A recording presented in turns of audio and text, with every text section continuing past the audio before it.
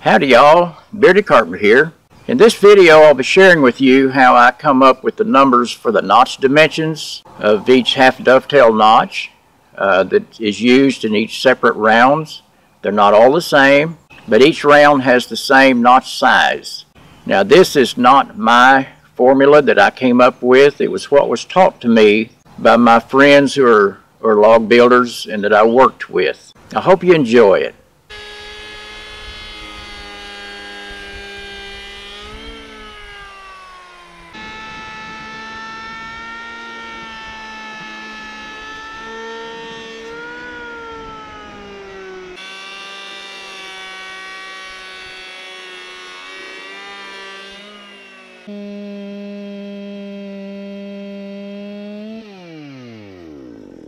Since this is B-wall, B-wall and D-wall logs actual total length will be 12 foot 4 with the 2 inch notch overhang.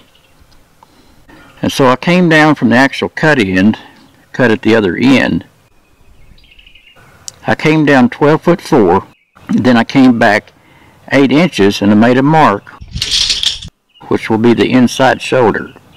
The sill logs were 16.4 total and the actual inside dimensions of the log building will be 11 foot, uh, 15 foot, taking out the 6 inch thickness of the logs. So I have a mark here established and I can cut this end off and have my exact length all ready to go.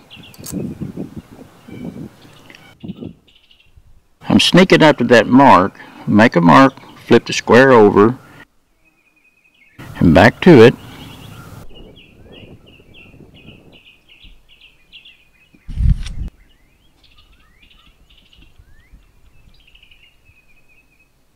get my inside shoulder line established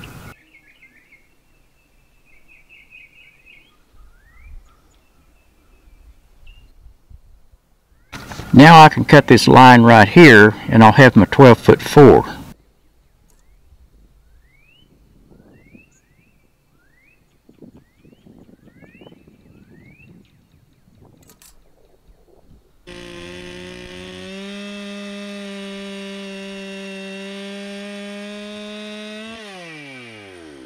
I had told you that I was going to come up with this number of four and a half for the upper portion of the notch and three and a half for the lower part of the notch.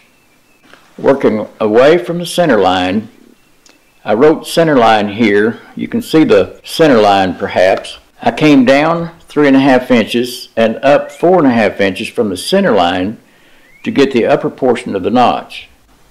And I did the same thing on the outside from the center line on the lower part of the notch. Now I've showed you how from this point to the other part of the notch on the outside how to measure that and come back to the shoulder and get those two marks that's just parallel to the center line. I want to go through the equation that I use. There are four logs in this round and I measured the logs between the butts and the tips in the middle of the log. One of the logs was 14 and 3 quarters. There was a, one that was 15, and there was another one that was 15, and there was another one that was 15. And I just added all of these numbers up to get an average of what this is. That number is 59 inches and 3 quarters. These are all inches. Okay, I'm going to take 59 and 3 quarters and divide by 4 because I had 4 logs and that is 14 and 15 sixteenths.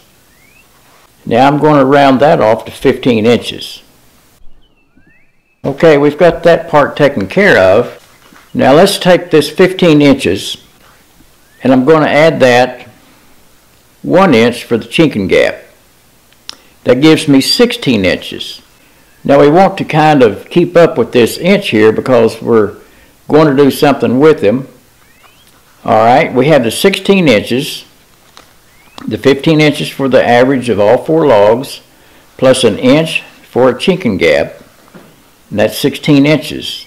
We're going to take that 16 inches, we're going to divide that by 2, which is 8 inches. All right, we've got this 8 inches.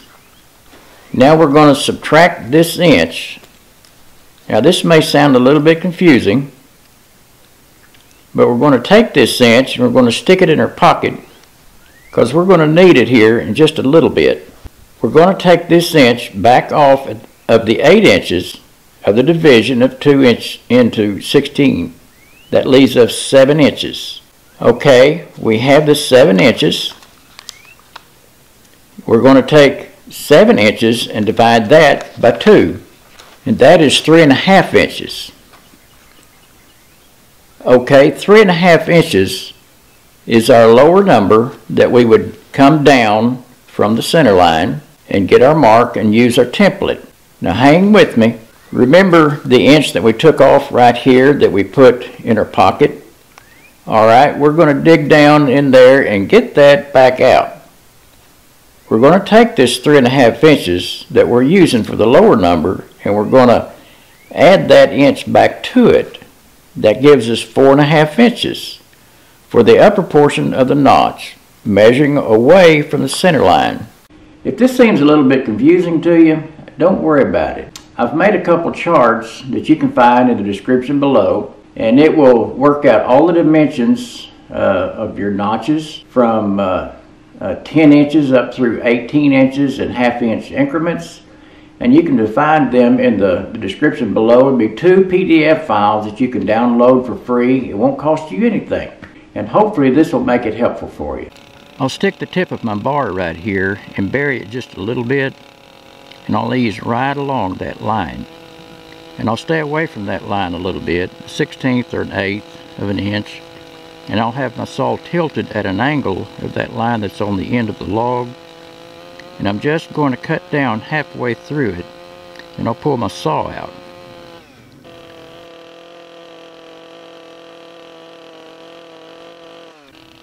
Then I'll cut this shoulder and I'll leave about an eighth inch there.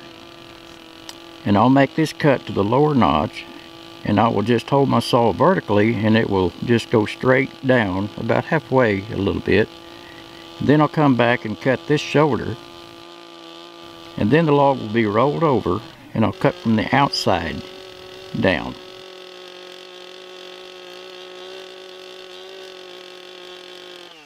Alright, I've done everything that can be done to this log on the inside face and I have turned it over and I have the outside of the log facing up on the sawhorses and at this point I don't have to worry about putting a level on anything that's already been taken care of from the layout on the inside face but I'm getting ready to snap a center line on the outside just like I did on the inside.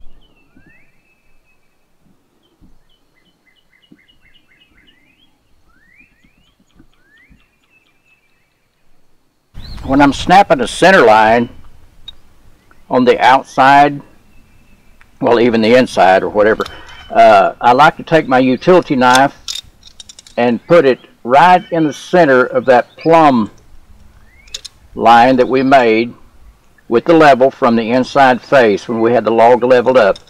And I just like to make a little cut there and that gives me something to exactly center that chalk line on there. Now pull it pretty tight and just set it down that little cut. Just reach back here and snap a line. This is the butt end of the log and I'm always like to pull my layout from the butt. It's just the way I like to do things. But you always want to pull your layout from the same end of the log every time. Now I have my white line here. Set my, my square back up there and making my mark at 8 inches. This will be the, the shoulder on the outside of the log. And as I've already showed you, about flipping the square and lining the inside of the long leg up on your, your center line. Bring it right up to your shoulder, right here. Making the half of the mark. Come around here and do the same thing. After you do this a few times, it'll become habit to you. As far as turning the, the square crossways. I left the rough sawed texture on the outside of this log. At the other end, I went ahead and planed it. And that I'm going to video the other end where you can actually see what I'm doing a little bit easier and maybe on this rough sawed texture. I just like a good clean surface for that. This will all be hewn off, this, this circle saw marks that's left from the sawmill, I'll hew all that off. But I'm going to go to the other end, square back up there, lay my tape here, see if I'm lined up with the 8 on the, the square, or whatever number you choose, just sure that it, make sure it's just lined up. And I'm going to go to the other end and mark the, the shoulder at the other end. I'm marking the shoulder on the outside. I'll draw a little circle around that where you can see it maybe. And I've planed this area so we can see it a little bit better.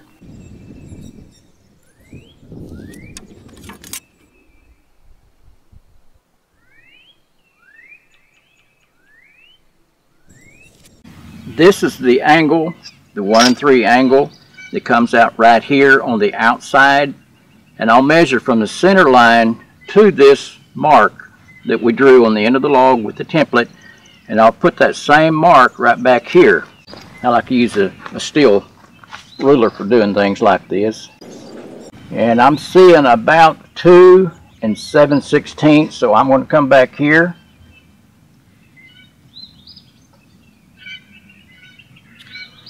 and make my 2 and 7 sixteenths and I can take my square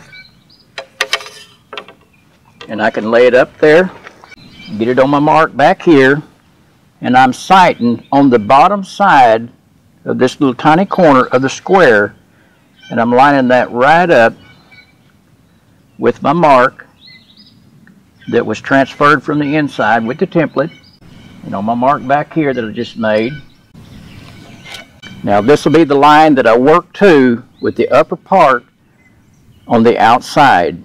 Now we were using three and a half for our lower notch number.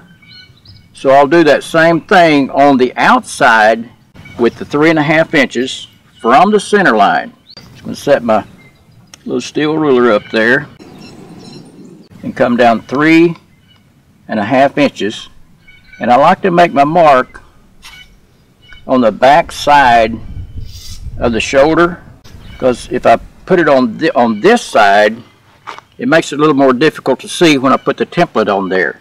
Using the same template, lay my square right up here on the center line.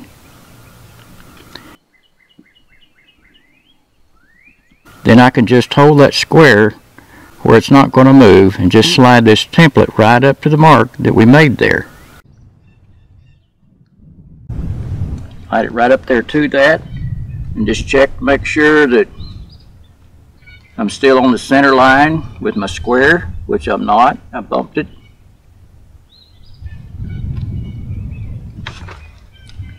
slide right up to that